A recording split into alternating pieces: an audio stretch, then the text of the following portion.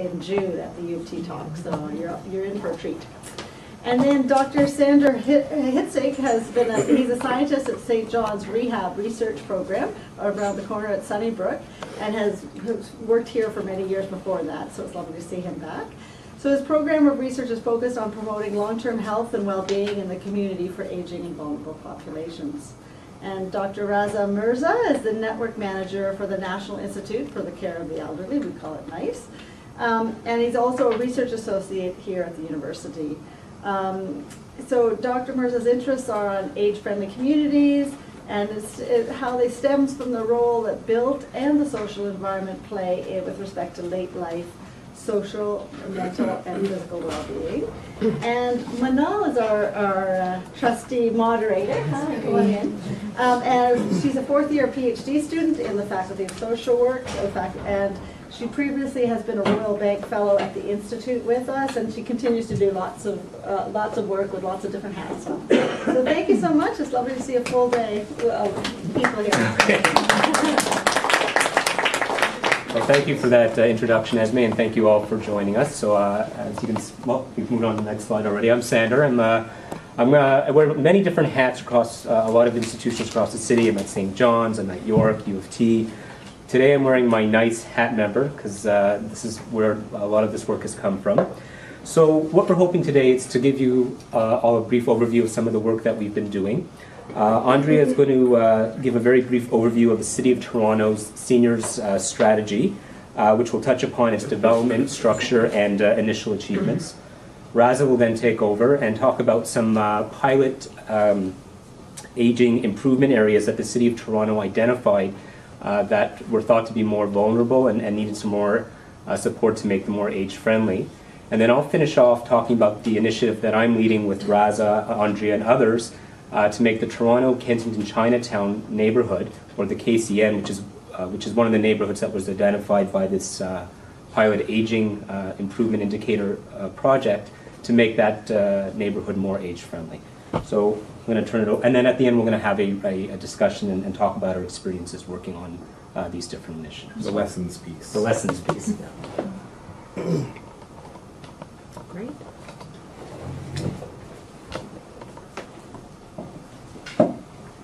So, um, I'm just going to tell you a little bit of a, a story of what happened to me and how this landed on my desk. So in 2013, Councillor Josh Matlow, who is now the, um, the seniors advocate for the city, he's kind of the minister responsible for seniors at the municipal level, had a motion passed at council to address the fact that, uh, to address the demographic pressures that are coming and to, the, the motion that passed was to direct staff to work with community partners, older Torontonians, aging experts, and so on, to develop a strategic plan for the city to get ready for this. So um, it hit me at the same time as my mom was diagnosed with Alzheimer's and uh, my father was dying of cancer. And so I was like, as a, I'm just policy staff, like general social policy staff at City of Toronto. I didn't have any special knowledge on CCACs and the LHINs and who does what, and I, I didn't. So, um, so the first thing I did, one of the one of the things, I'm a PhD dropout, by the way. I, I discovered policy. I used to, I was working on my PhD for a long time, but I found it too kind of theoretical, and um, and I just like policy because it's right in the middle between theory and practice, and you can actually design programs and you know run them in a neighborhood and see actual physical change. So, um, I, I, but I do like both and feel very comfortable in both environments. But I was very lucky to inherit this file. And one of the things, one of the things I like about working for municipal government as opposed to being an academic is there's no such thing as intellectual property.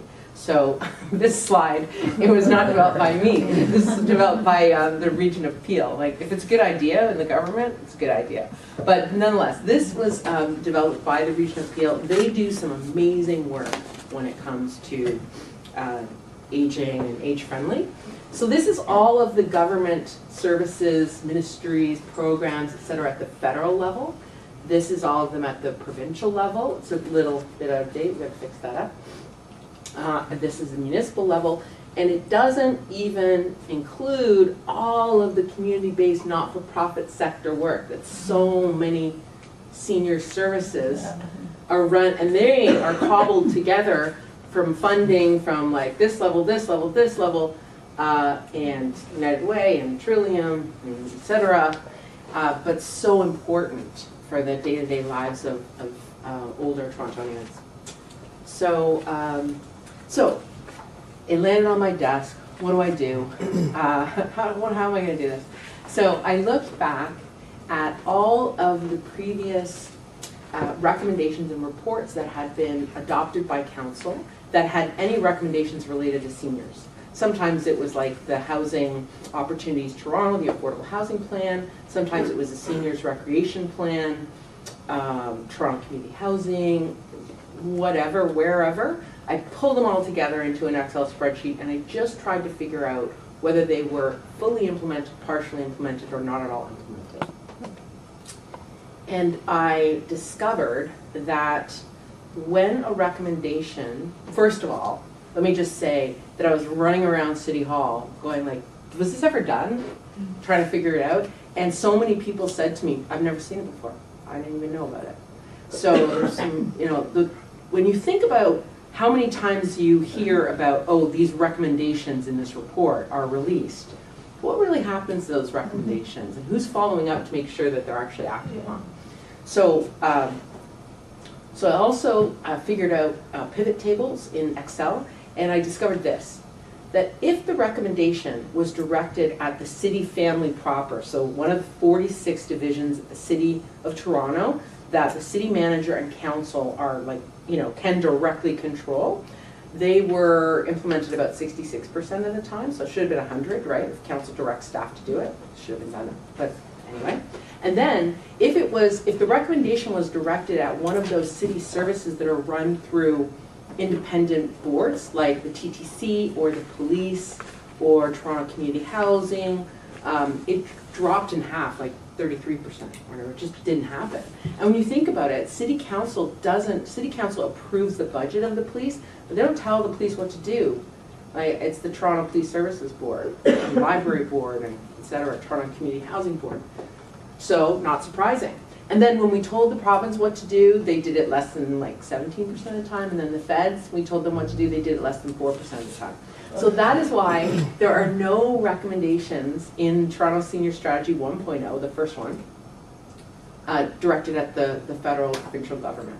And I think we're now in the process of developing the next uh, 2.0. Uh, Whether that has changed or shifted, I don't know. But, I mean, that represented a decade worth of, decades worth of work, right? And you think about all the consultation and everything that goes into developing recommendations, and then they were just, they were just sitting on shelves. They weren't being acted upon. So I want to make sure that it would, that would never happen to any other policy staff in the future. So, um, go ahead and next one. Um, actually, we can skip by that one. Unfortunately, this thing isn't working. I was be able to do it. So, um, so what I did was make it very clear that each recommendation is directed at. Um, you know, go ahead. One more time. There. So each recommendation has a very clear, like, who is responsible for doing this? Because some of those recommendations that, the earlier recommendations were just poorly developed recommendations, right? They're just, the city should celebrate seniors. I don't know, how, did we do that? It's just not, it's not, it's a vague recommendation. So every recommendation was very, very clear about who, X, is required to do Y by Z time with a progress measure of exactly whether, how you're gonna know whether or not that was done. And the other thing is we- so we built this accountability into it and we also committed to going back every single year to committee and council to say, here's the status. I list every single recommendation, and- and this just happened um, day before yesterday. Uh, I brought this for progress report, the second one on, um, on 1.0 to Community Development and Recreation Committee at City Hall. And there's a, it's a, you know, a big fat report that lists every single recommendation, whether it is fully, partially, or not at all implemented, and why. And let me tell you, people at City Hall say to me, Andrea, this isn't happening because we know you're coming after us, right? Every year, like, they have to do it because otherwise, they, if, if transportation services is supposed to do something, lengthen the crossing times in neighborhoods with a lot of seniors, for example, uh, and they don't do it, then, then it's gonna be, like, it's a transparency, right? And being, and it's really just about changing the rela, our relationship with council. Accountability is about honesty and transparency, so we don't put on, like, a lot of people at City Hall try to put on a big show, impress the councilors. No, this is also about our dirty laundry, like, if we're not able to do, and there are some recommendations that we have not been able to move on. I mean, of the, of the original ninety-one recommendations, as of Wednesday this week, ninety of them have been either fully or partially implemented, and well over sixty percent are fully complete. And that's only up to three years. So when you think about that compared to that earlier kind of decade of recommendations that were not moving, I think we, we figured out how to do a better strategy uh, at City Hall. So, uh, so now this is the standard for all uh, strategies um, at City Hall. They're- They all have this kind of accountability mechanism built right in.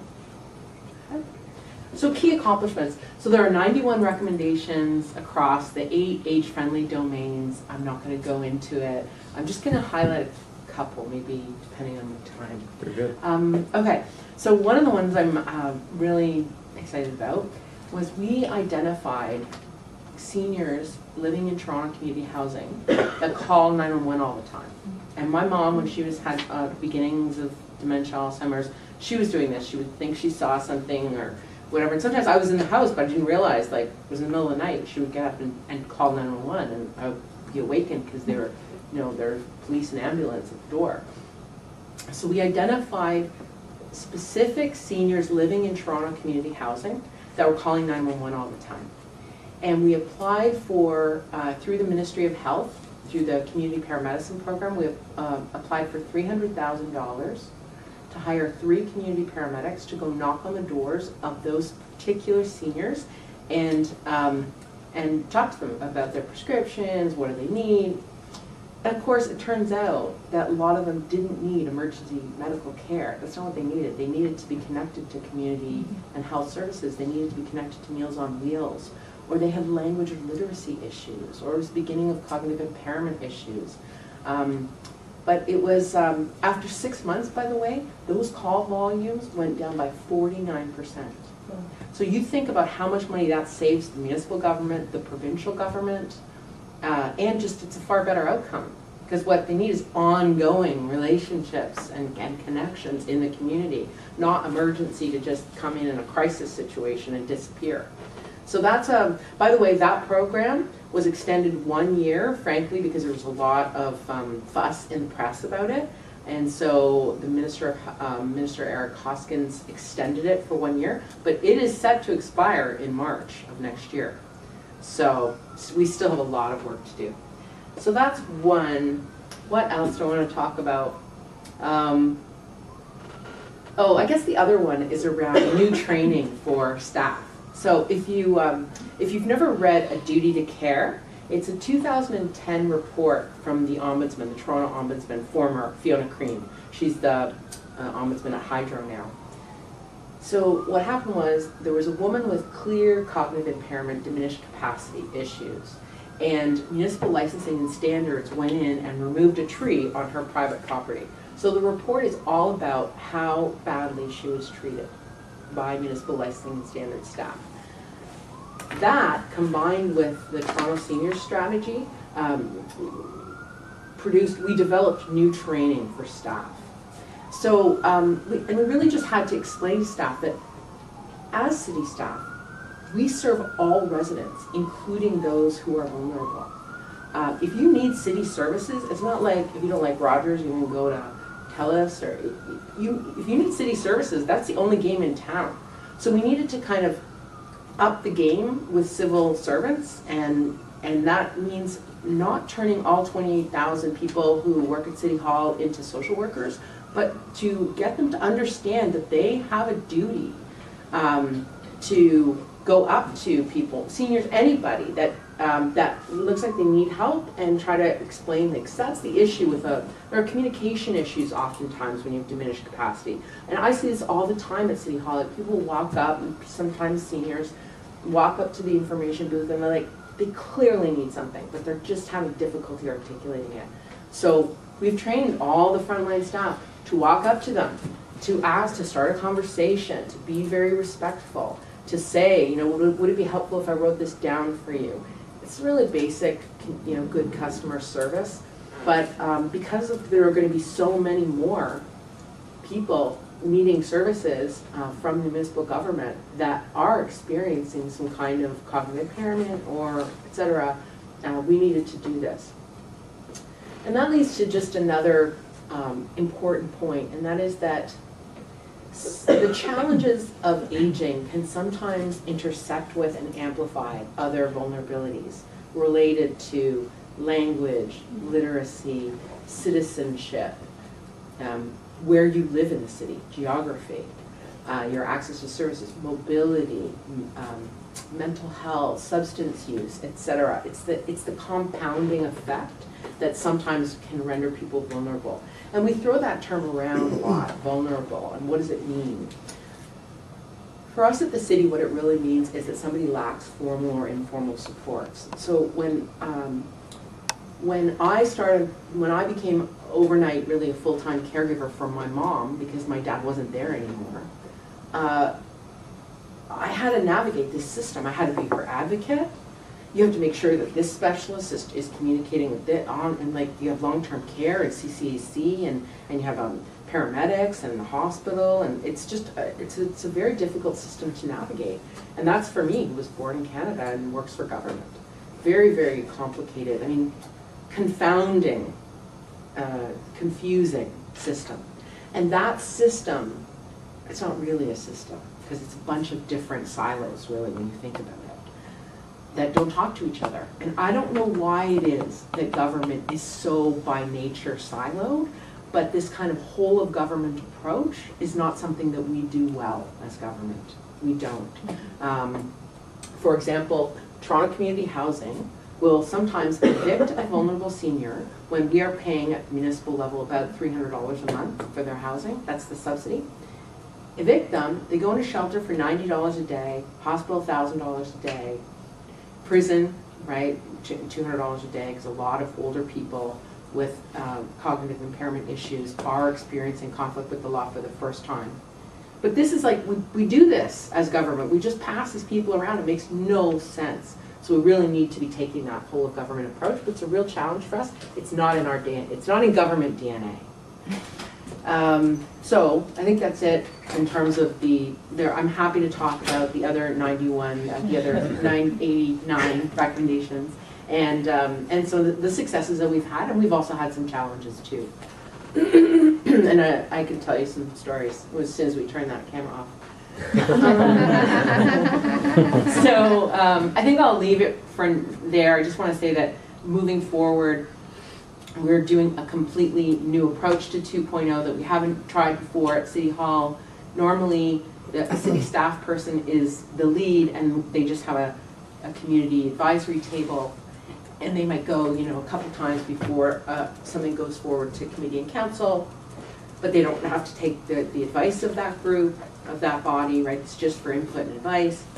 We're swapping, we're just getting rid of that for the 2.0 process. We're doing a complete co-creation, co-design with the accountability table, which um, these gentlemen sit on, and, and it has hospitals, CCACs, uh, the LHINs, uh, uh, advisory advocacy groups for seniors, the Toronto Seniors Forum, older Torontonians, caregivers, LGBT uh, senior seniors, um, ethno-racial, because we need to understand the ethno-racial and linguistic needs of seniors, um, uh, faith-based groups, um, indigenous, etc. So we are co-creating the next Toronto Senior Strategy 2.0 with that table, like shoulder to shoulder.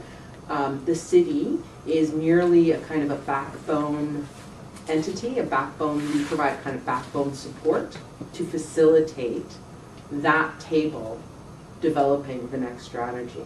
So to leave it there. Thank you.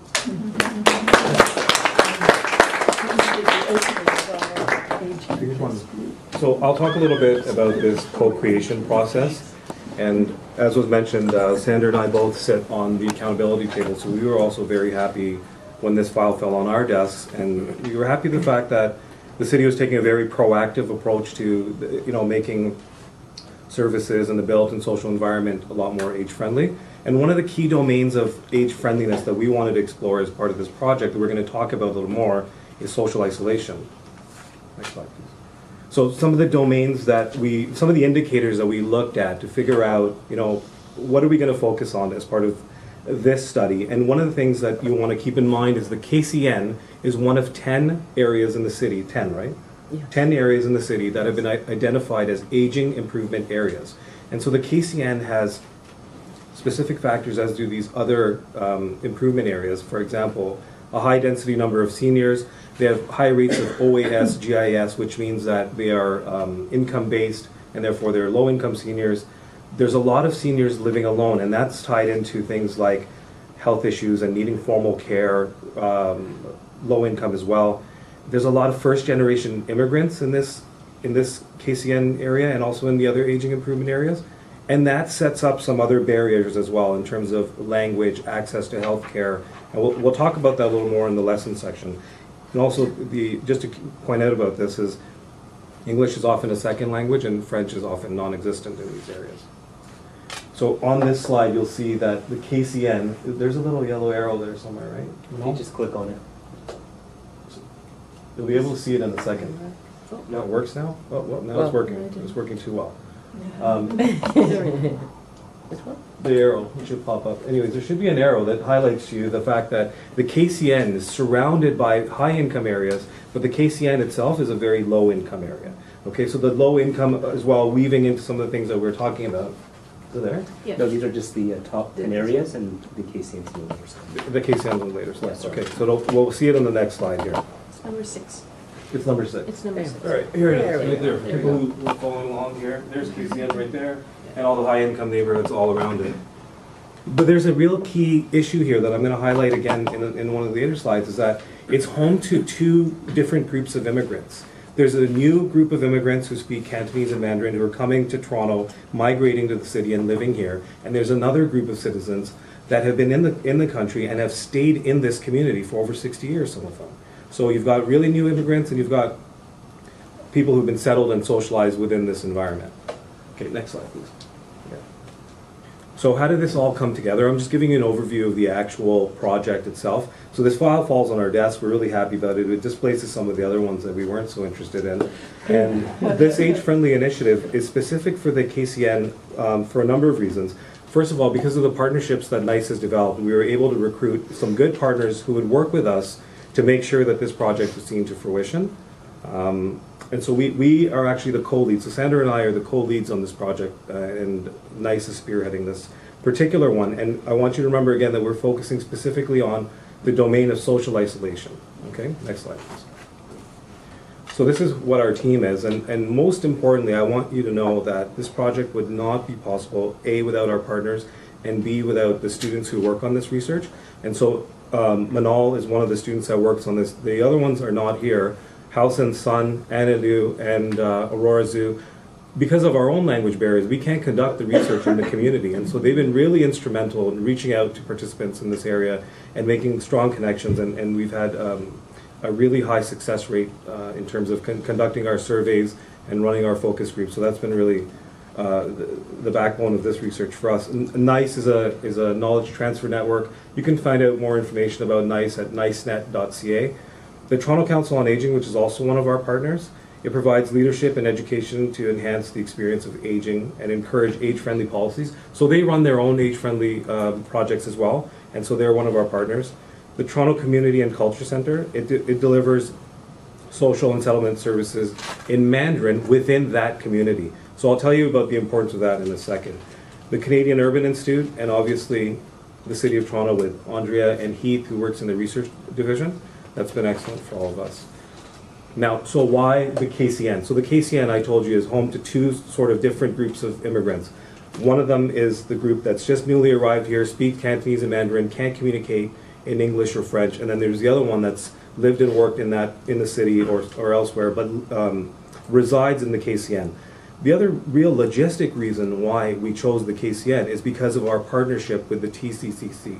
So that is one of the things that happens in research, is that it's actually just easier for us to look at this aging improvement area. Of the 10 that were available, this is the one we had the strongest partnerships with, and that's why we chose that particular area. Now, this is a bit of a busy map, but again, I want you to see the income levels. I think the arrow should show. up. The arrow, there it is, the arrow, okay. Um, so that's where the KCN is in comparison to some of the other places. I want you to see also in terms of the built environment, you see it's close to a subway line, all right? One of the other facilitators for people aging in place. And we'll talk about that in terms of some of the lessons. There it is. Okay, I'll very quickly go over the ethnicity in the, in the community, and I'll, I'll give you a profile as we talk about some of the lessons later. So the ethnicity uh, breakdown in this community are, are most of the, the individuals who reside here are of Chinese background. Okay, so Chinese background, we start to unpack it a little bit more. There's a great diversity in this population based on language, based on where they lived in China. Okay, education, all sorts of different domains. Next slide, please. And the language, again, pre- predominantly Cantonese or Mandarin. Okay? So I'll hand it over to Sander and he'll tell you a little bit more about the action plan that we are going to be coming up with. Thank you. So you can see from Andrea's presentation the broad city's viewpoint in terms of making the city more age-friendly and that how, how some of their work has influenced our decision to choose the KCN. So what are we actually doing?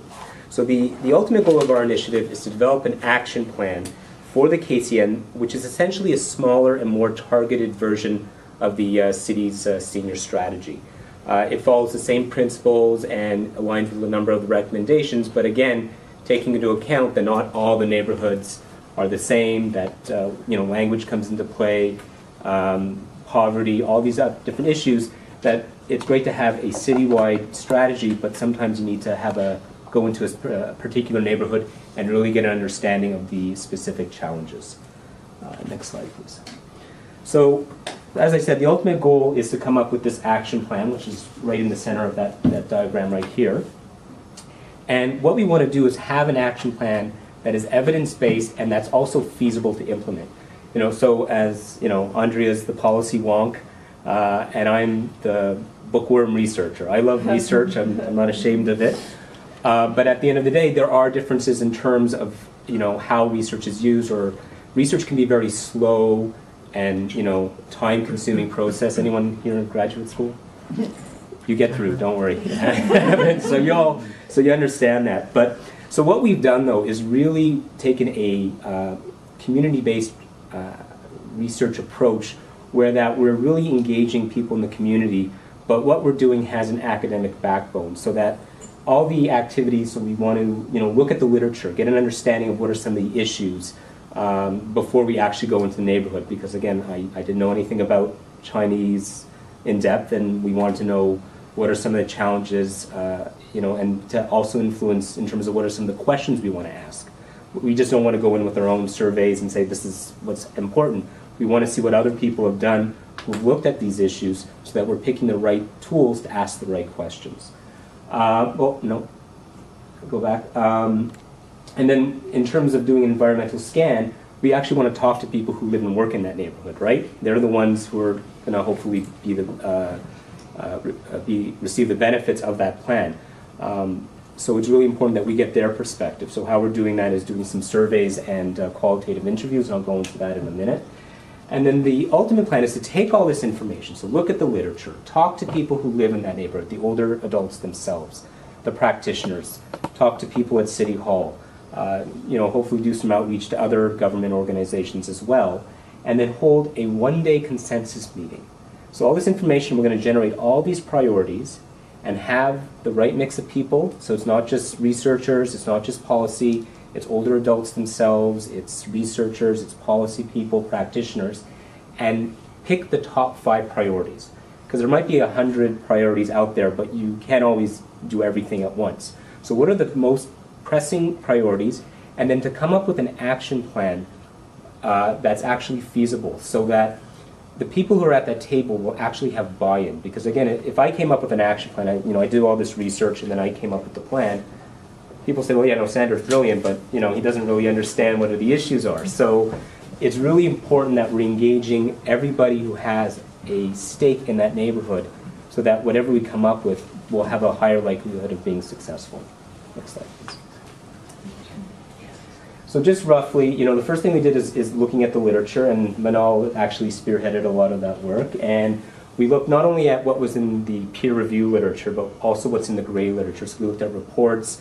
So there were some community organizations that had done some work and had generated reports with recommendations, and looked at um, uh, other uh, other uh, sources of information that were available. And really, this was sort of the starting point in terms of figuring out what were some of the key issues. Next slide. So again, we organized this whole initiative around the World Health Organization's age-friendly dimensions that uh, Andrea had uh, touched upon. And these are, uh, you know, social participation, community support and health services, housing. And, we, you know, we were trying to figure out what were some of the issues. So in terms of community support and health services, there's a need for more advertising of these services. People aren't always aware of what's out there. So again, that's something that we keep in the back of our mind as we're doing the scan is the city or different organizations being effective in their advertising. Looking at housing, living alone is a, is a, significant risk factor for um, uh, social isolation and loneliness. And this is actually found in any ethnic group. Uh, it, this is one of the, the strongest predictors. And again, when Raza was talking about the um, pilot uh, indicator neighborhoods, you saw that in the KCN, almost 40% of older adults in that neighborhood were living alone. Uh, so imagine if you're living alone and you don't have support. You know, Andrea talked about her mother, and, and, and you know, you were the support for providing the care that she needed. But if you're living alone and you don't have that support, what could happen? Uh, so these are important issues that we, you know, that we were looking at the literature to uh, uh as we were doing our planning process. Next slide. And again, you know, issues of respect and social inclusion. One things that NICE does a lot of work on is the issue of elder abuse, uh, which isn't always labeled as elder abuse in particular communities.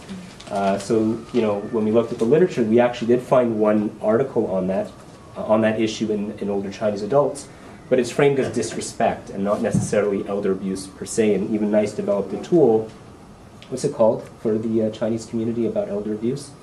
It's, it's, it's not called the elder abuse tool for older Chinese adults. It's pathways. Oh, pathways, yeah, I think. Pathways to enlightenment or something that, that's a, that a, a person could take and that they're not walking around with a sign saying, I may be undergoing elder abuse. So it's, it's having an understanding of these cultural issues. So again, so we looked at all this literature. So this was sort of the first part, and then the next thing is to talk to people and, and figure out what are the issues. So looking at the literature was really helpful in coming up with the questions that we needed to ask. Uh, so we wanted to survey 100 older adults in that community, asking them questions about uh, what types of resources are they using, how important were they to maintaining their health and well-being in the community, were they actually able to access them easily, were they able to walk to them, do they need to take a car, do they need someone else to take them to access it, and then we asked a whole host of questions about their physical, mental, and social health using a variety of tools uh, that have been validated for uh, older Chinese adults. Um, so we have a, a, rough understanding of what some of the issues are. But again, if you've ever answered a survey or given a survey, we don't always fit in that neat little box as much as a researcher that, you know, in my, my soul, I wish everybody would fit in a box and we could answer all the questions we wanted to talk to people. So Raza and uh, the students organized a number of focus groups where we pulled together people living in that community and asked them in depth, what do you like about living in the, in the neighborhood? What are some of the challenges?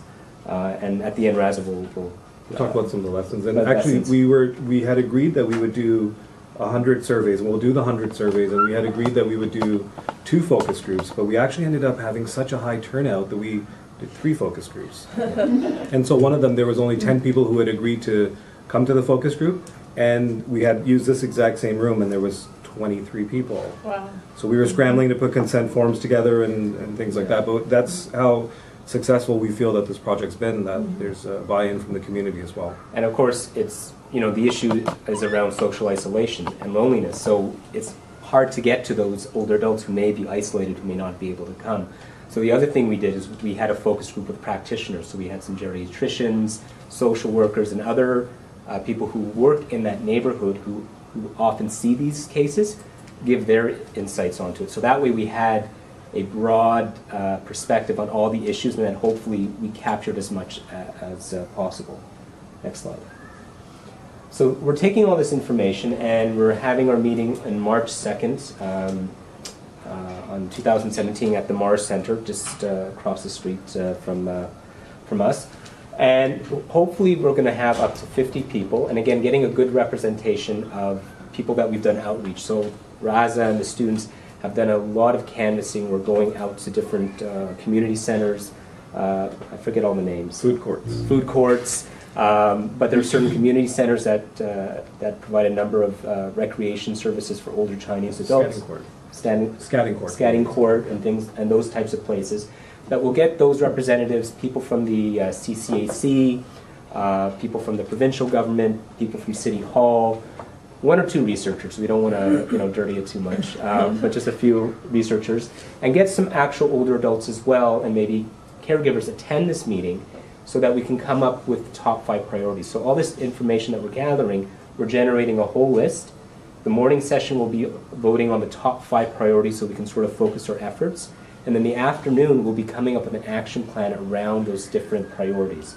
So that it's not just a list of recommended priorities, then we're done. It's really, what are the priorities and what can we actually do? And when you have somebody from City Hall and the CCAC and a social worker all sitting around together, you can actually come up with some solutions. And one of the things that was interesting when I met with Andrea and uh, Councillor Joe Cressy, he said one of the big things is if you can even get people in the same room and be aware of the different services, that will advance things tremendously for, for getting people to talk and maybe come up with some solutions. If you don't mind, I just wanted to add Yeah. one point. One of the things that happened that was very interesting for me is that in the focus group with the service providers and the clinicians who work in the KCN, they started exchanging business cards in the middle of the focus group because they said, well, I didn't even know you work next door to, to me. If I had known, I wouldn't have referred this person so far away or, or I would know how to find you now. So that was a very interesting thing that happened as an observation during the actual focus group when they started to talk.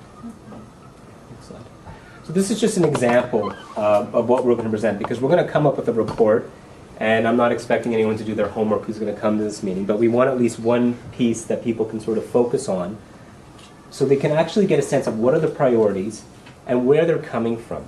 It doesn't mean that because it's, let's say you have one priority and all three groups are, are, are um, only one group is, is voting on it, that it's, um, that it's not important, but sometimes when you see that all three you have that triangulation where you see that it's coming from the practitioners, that it's coming from the older adults as well, that may help focus getting some consensus around what priorities really need to be addressed. So this is just an example of, and we actually have to do the work and generate the real priorities, but this is, this is what hopefully we're going to use. So again, hopefully the action plan, uh, again, it's going to be, you know, evidence-based because we've looked at the literature, we've talked to people in that neighborhood, we've followed research ethics so that the way that we collected the data followed all the ethical standards and that we've applied some rigor in terms of how we're looking at the data and, and pulling it together.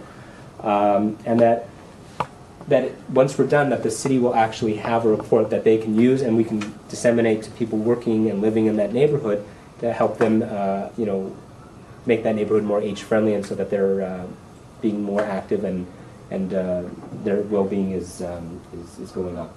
And the other idea is that if this is successful, fingers crossed, this could serve as a useful template across other neighborhoods. We chose the KCN for, because just of circumstances, we had the right group of people. But we could have gone to Thorncliffe and done the same steps and come up with an action plan, again, that's evidence-based. We could have gone to any other neighborhood and have this, again, I call it an academic backbone, by involving uh, people from the community and other groups to come up with the knowledge and to develop the action plan that's going to be meaningful for them. So I'm going to turn over to Raz, is this lessons learned or is this No, time? well, go- this is the timeline. Okay, so it's to- still me. yeah, All right, okay. so where are we at with the project? Uh, So we've done the scoping movement, all, got it accepted for publication. Um, We've done our environmental scan where we actually had a student uh, from urban planning, I didn't mention, use the uh, Toronto Wellbeing app, if any of you are familiar, which ties into all these different data uh, sources, so the census, uh, 411, to look at all the different organizations in the KCN, whether they're hospitals, churches, libraries. So it was a really useful tool to help us figure out who we needed to go do our outreach to. Um, uh, Telephone surveys are almost done. Raz has completed all the uh, uh, focus groups. Number four, March 2nd is our consensus meeting, and then hopefully by, I mean, last slide, by the uh, summer, we'll have the report done, and uh, we can move on to bigger and better things. And Okay, so we'll go to the last slide, and this hopefully will lead to our discussion. So how do we make all of these domains and all this other stuff that we're talking about into, I think you can just click through all of them, it's no surprises here. Um, I've, I've circulated this document for uh, some of the tables here, and this is the checklist of essential features of age-friendly cities from the World Health Organization. It's a color copy that you should have. I want you to look at this very quickly.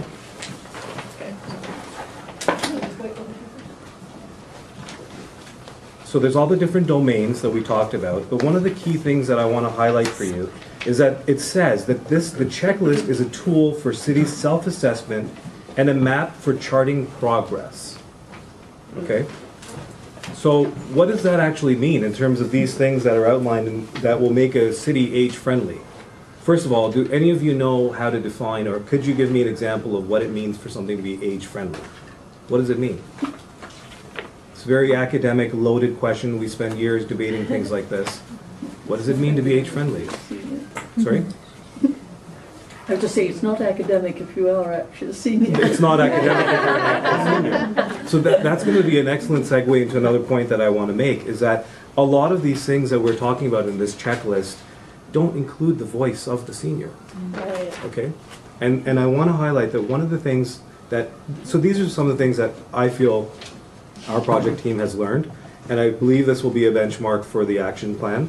And first thing is, the conversations about age friendliness across domains, across, for instance, neighborhoods, communities, different levels of government, between different universities and researchers, it's very, very difficult to talk about age friendliness when we're all talking about the same thing.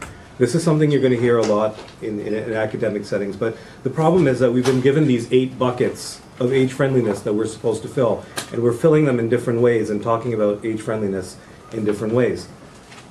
The other thing, and I think you mentioned this yesterday at our meeting, what was that word you used about it's not bougie? Oh, bougie. It's a bit bougie. It's a bit bougie. It's a bit middle class. Yeah, yeah. I mean, the, the domains themselves we're kind of stuck with because I mean they're they're good in many ways, but um, I think that they don't necessarily take into account kind of diversity, equity, um, sexism, racism, the fact that seniors are racialized. Uh, LGBT seniors, all of low-income seniors, all of those issues are not really in the foreground with that uh, with these buckets. And um, and the other thing is that they they direct everything at cities, which in some ways is good because I think cities do have the kind of closest, most uh, engaged relationship with residents. But on the other hand, we are the the the order of government that is in many ways least resourced. And if you think about the federal government being responsible for kind of in, income support, and then the province for health and primary care and home care, and then cities. I mean, really, the things that we're that we could easily control if we had some more money, are things like park benches and pedestrian safety. As you all know, the number of um, seniors who are killed on our streets, like of the people who uh, of the pedestrians who are killed or seriously injured every year in Toronto, the majority are seniors, like eighty percent. So it's a huge issue. So those are things that are, uh, and recreate, community recreation, things like that are within our ability to control. But if you think about affordable housing or the issue around social housing, even the TTC and transportation, I mean, really, some of these things are, are city uh, run kind of under protest, like they were downloaded, and we're not adequately resourced on the in terms of the the um, the dollar of, of how much tax you pay. Like five to eight cents on the dollar goes to municipalities, and then you know the, the the next most amount goes to the province, and then to the feds. So in some ways, putting it all at the hand, at the feet of cities is problematic. So I'll go through the other three lessons very quickly. I want to leave time for there to be questions and discussion. But one of the other key things that has stuck with me throughout this research process is that we are talking about providing services for seniors. And we're providing about, uh, we're talking about providing programs for seniors But what, what we really need to do when we think about age friendliness is think about how do we engage seniors within the process as well so the relationships are reciprocal, okay? Not for seniors, with seniors. That whole co-creation element we want to really bring to the forefront as part of this action plan. The other thing is about the places where you wouldn't imagine being somewhere someone would think is age friendly, like the food court, where we, re- we recruited a lot of the older adults for the study. That's where people go to socialize, at the food court, around lottery terminals. I'm not kidding, that's where we put up some of our, our uh, recruitment posters and had a very high response rate because seniors would congregate in those areas. Um, these are places that we overlook, but that, there are places where the built and social environment sort of intersect. I think the final point that I want to make, and this is the one that bothers me the most, is that checklists like this, when we talk about domains and indicators, this actually doesn't mean anything unless we can measure or evaluate or respond to all of these different domains. And so the next thing that we want to be working on is coming up with a score or a measure for age friendliness. Because until you do something like that, there's no real response that you can take. Mm-hmm. People don't know if they're age friendly or un, age unfriendly programs and services, communities, cities. And so we need there to be a benchmark where we can work from. And as of right now, none exists. And hopefully, um, based on this research and other work that we've proposed to do, NICE and its partners will be able to come up with something, um, an algorithm or some way to measure and quantify this as a starting point. So that'll, that's it for the lessons, and we will take, I think, questions? Yeah? And uh, just before we do, I just wanted to uh, acknowledge the uh, Ontario Senior Secretariat that's funding uh, our research, uh, our, uh, this age-friendly community planning grant to make this work possible. Thank you very much. Thank you.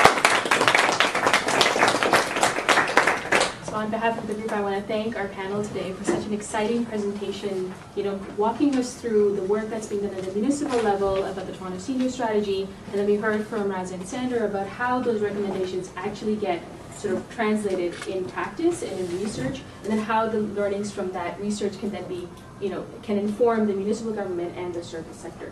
So we have about 10 minutes, and I'm going to open the floor uh, for comments and questions, and uh, Also, just a little side note, we will stick around for a little bit after if there's questions that you want to ask outside the context of this presentation. start off here. Yeah. Thank you so much for your presentations. Um, I'm interested in the third lesson learned, the, the participating uh, thing.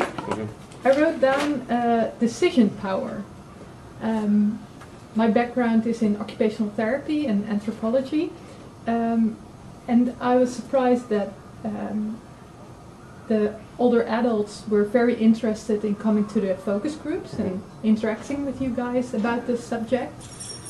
But the decision power in your consensus meeting is very much professional oriented. You will invite older adults, Yes, as, yes, I yes. believe, but why not give them more power about their community? In terms of how, in terms of number, a number of older adults? Maybe? So there's a few things. So A, we definitely want representation, so we want them to be able to attend. Uh, So we're going to have uh, s- s- um, spaces available, and I think we'll uh, invite at least around five or more. Uh, Other things is pra- pragmatics, is that you can't have a meeting that's too large, because then it becomes very difficult to manage. At the same time, related to the uh, development of the action plan, they'll have insight into the priorities, and we'll actually circulate a pre-voting on what are the top five priorities, and then drill it down at the actual meeting. But you need people who actually work in that community, who know the services, and who actually can figure out what to do at that meeting. So hopefully by having a balanced representation of older adults, practitioners, government, couple of researchers, that we can all come up with something that everyone would be satisfied with. But again, by going into the community and doing the focus groups, they're the ones who are driving the priorities. I'm not going to come up with a priority because I've read it in a paper, but it's, the voting process is, will be open to everybody and hopefully we'll gain consensus on it. So the, the short list of prior, priorities and actions are actually driven by what the respondents have said in their surveys, what the respondents have, you know, um, said in the focus groups. So it, we're, it's, it's a distillation of all of that into these domains that we'll be talking about at the consensus meeting. So it is, it is sort of driven by the community Yeah. and not by our evidence and literature or anything like that. Yeah, yeah. Okay, Okay, thank you thank you. Pat Armstrong, York University. Hi. Um, I thank you for this uh, fascinating and important project, I think. I'm, we heard about income, we heard about age, we heard about culture, we heard about language, but we didn't hear about gender. And it seems to me this is a really important issue in the literature you're reviewing, or at least it should be, given who, who the old are and the Yeah. differences in their needs and interests. Luckily for me, I have this little graph from the, the data that, that highlights that seventy-three percent of the participants in our study were older women. Yeah, Um, given that their proportion of population. in that, in that area as well, and that most of them did report being socially isolated and feeling vulnerable. I mean, beyond that, we don't have much data at this point. We're still in the process of collecting our final interviews, but as a quick snapshot, there is a gendered issue in this community, and I uh, would expect that it might be the same in other aging improvement areas as well, because looking at the, you know, just as an example of OAS and GIS, if you look at the breakdown of the recipients of that, they are older women who are widowed or living alone, so. And so I, I, I wanted to first applaud you for the collaboration and alignment that I see between, you know, the different initiatives, and uh, I think that's very impressive. And also, I, I I, do think it speaks to the importance of a backbone, academic backbone, and the benefits of that. Um, and, um, I just wanted to make a quick comment uh, about the, the metrics, I hope that within the develop, developing those metrics, you will also develop some flexibility because I think with your neighborhood approach, I think you, you're seeing that it's probably going to change um, within different communities. And just to a little bit introduce myself, so I'm, um, I'm based at Mount Sinai Hospital, uh, Reitman Center, but I'm part of a collective that uh, focuses specifically on senior caregiver isolation, um, which is kind of a niche within what you're, um, what you're doing. And, and I guess I'm interested to know if any of your data um, has surfaced any um, specific issues um, around caregiving in that population. And I'm just interested um, if any of that has surfaced in your, um, in your research. Um, You know, we just mentioned the, the ratio between genders, but also if I look at the ratio within caregivers, the majority of the caregivers, I think it's around eighty percent, is um, older women. So if you don't mind, I'll, I'll answer the question about the metrics, okay? So about the metrics, I wanted you to get, I'll give you a little bit of a background on this. So I've struggled with this idea of a checklist and not being able to say, is this age friendly or is this age unfriendly? And then using the walkability score as a reference point for developing a metric for age friendliness. Mm-hmm. One of the problems with me, for me, with the, a metric for walkability is, fine, it allows you make an evidence-based decision about where you're gonna live or whatever, but walkability, just like age friendliness, is dynamic. So how do we capture the fact that at one moment something is age friendly and then a, mi- a minute later it might not be? And so the flexibility that you're talking about, we've taken that into consideration. Uh, we actually have applied for a big grant from Google to see if we can uh, develop an algorithm for this. And the flexibility that we're going to try to build into that is, is talk about things like transportation and weather and all these other factors that might make something age unfriendly for the moment mm-hmm. be able, we're, that we're able to capture that. So that's what we're trying to do. I will look forward to hearing more about that. We look forward to getting a grant so we can do it. But Any other questions? and the caregiver data, Yeah. as soon as we have it analyzed, I can get it to you. But I can tell you that that's an issue in the community. And that's also why we did the qualitative part as well. Again, there's only so many surveys that you can administer. You, you always want to throw in as much as you can, but at the same time, it becomes burdensome. So by talking to people and, and using this qualitative approach, where we're asking them what are the issues, hopefully, and we haven't, I haven't seen the data yet, but issues of gender may have come up, or uh, issues of um, informal caregiving may have arisen. So again, we try and do our best, and that, but that's why I, I personally always try and use a survey with qualitative interviews so you can get as broad of a picture as possible. Just a final point on that, I'll tell you that one of the, the issues that a theme emerged from the focus groups with the clinicians was that family dynamics especially are very hard to navigate when the, the family is acting as an intermediary between the clinician and the actual, the patient. And so that, that came up over and over again within that group. Any other questions? I have a question. Sure. So, um. Um, we, I know that one of the focus groups was uh, for practitioners, Mhm. and I know there's some practitioners in the room who are aspiring social workers, and I wanted to know if you could sort of shed light on what are some of the professionals who are working in that neighborhood saying in terms of their uh, perspective in seeing seniors, uh, who they might uh, be coming across? So the, the big problem that practitioners had in the community, especially around some of the questions that we were asking, and we said, well, how do you know if a senior is socially isolated? And they said, well, we don't know. We only see a snapshot of them when they come to see us for 15 minutes or not. And then they said, well, how do I know if some, how do I define somebody who's socially isolated? Do I bring out a little checklist or something like that? And even after I've identified them as socially isolated, what do I do with them? I've, I've identified them, I don't have a way of assessing the intervention or anything like that. And then next thing is, well, who do I hand them off to? Like, where do I refer them to? So this was one of the challenges that came up um, in the clinician section. Another challenge that came up, and I think this is really fascinating for me, was that we talk about language. In this, in this particular community, there's a language barrier because a lot of the people coming to this community are speaking Cantonese or Mandarin. And actually addressing the language barrier created a new barrier. And the language barrier, once addressed, created a cultural barrier. Because some of the things that were happening at home, for example, isolation, depression, or abuse, are not something you can talk to somebody from your community about. Mm-hmm. And so there's shame and stigma that's attached, and so there was a, a fear of cultural judgment happening that this person didn't want to share their story. So yes, I can talk to you about whatever in my language, but there are certain things that are now off limits that I won't talk to with my clinician from the same cultural background as myself. Okay? So, um, I- You've kindly agreed to stay after, Yes, but we I know have, that yeah. some people are trying to get back to courses or- or uh, work. So I do want to thank you all, and I think a round of applause would be appropriate.